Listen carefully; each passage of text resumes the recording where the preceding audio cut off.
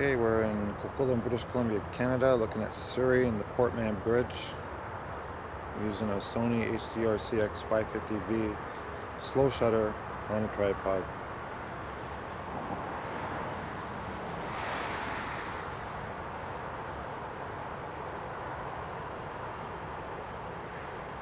This is Surrey you see in the background and Coquitlam in the foreground.